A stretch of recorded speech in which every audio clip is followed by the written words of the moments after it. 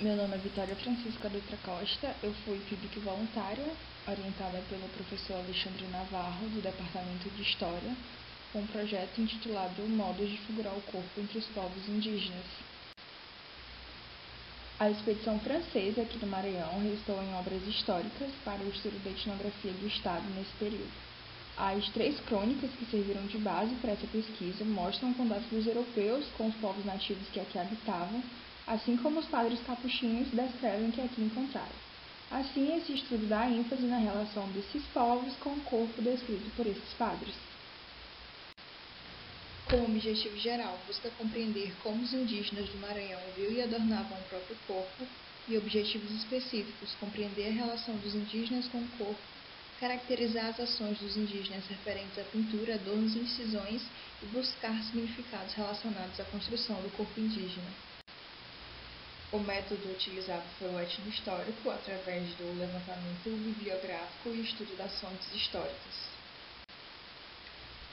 De modo geral, os indígenas apresentaram uma boa forma corporal, que impressionou os padres.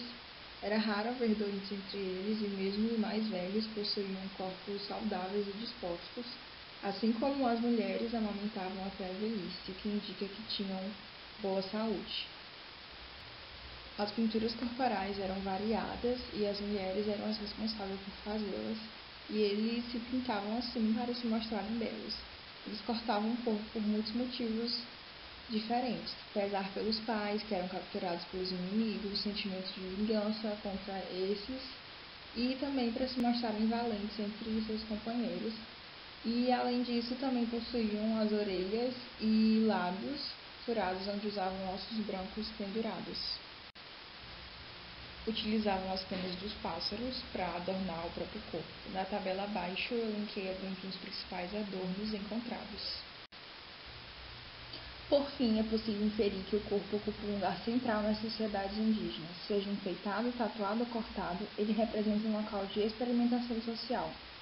Passando por celebrações em que meninos tinham um lado inferior perfurado e homens que se picavam para se mostrarem elegantes, o corpo indígena é objeto de estudo, dado sua importância para essas sociedades. Nesse slide e nos próximos dois tem as referências que foram utilizadas na pesquisa. Obrigada.